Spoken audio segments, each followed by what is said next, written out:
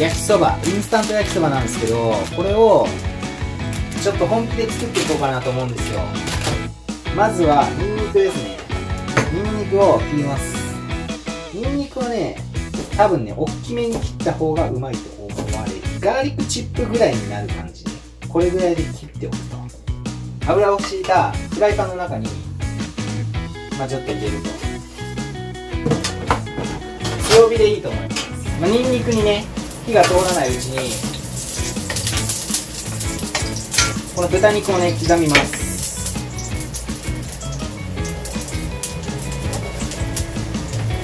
で豚肉をまあ炒めると同じようにね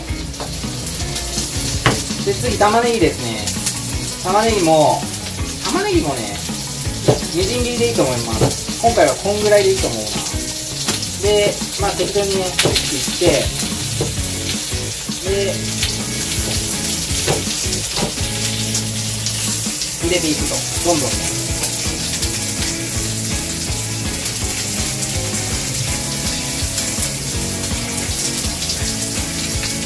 まあもしあれだったらねもっと入れてもいいと思う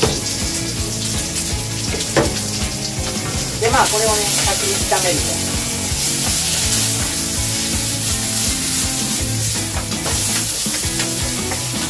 で軽く味付けたいと思いますんで甜麺醤ですね。用意してます。甜麺醤と豆板醤。これ入れときます。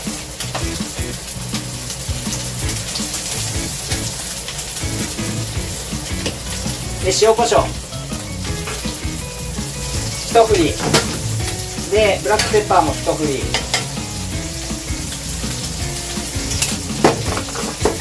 入れてもうほんと焦げるぐらいで炒めます。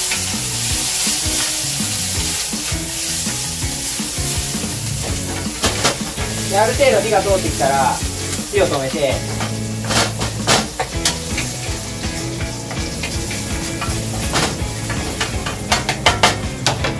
器にね置いときます。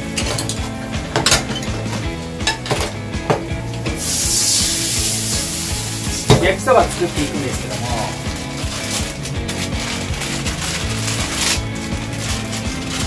焼きそば普通に作っていいと思います。でその間になんですけどもこのレモンをですね、まあ、カットしてこのさっき作ったこの具の中に入れておく。レモン果汁をね。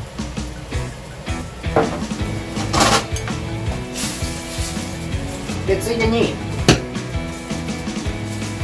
のネギですね。これもちょっとね細かめに刻んでおく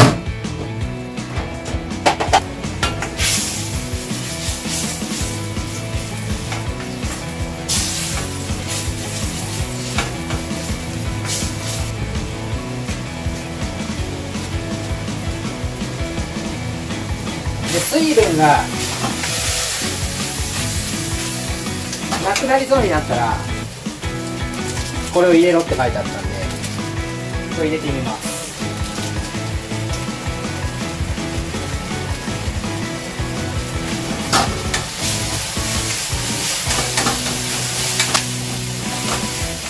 でこのタイミングでこいつ入れます。ネギも入れます。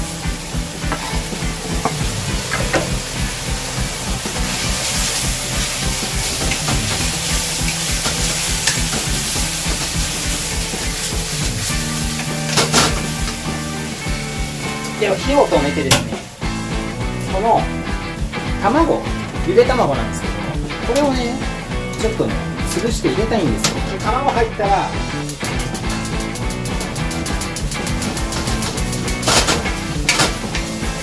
う一回ちょっとぐちゃぐちゃにして混ぜ切る。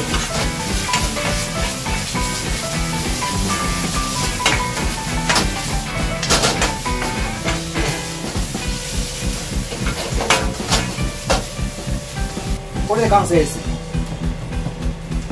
これでね完成しました。食べていこう。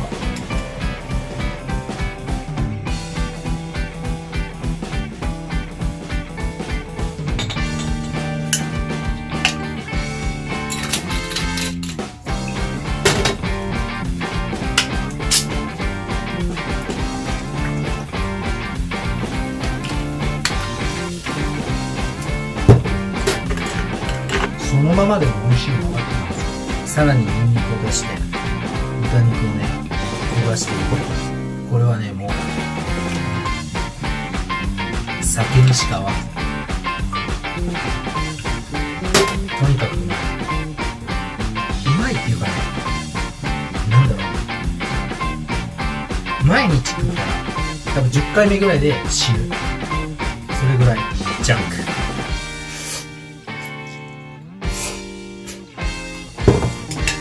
焦げたニンニクってなんでこんなうまいの？暑い夏を乗り切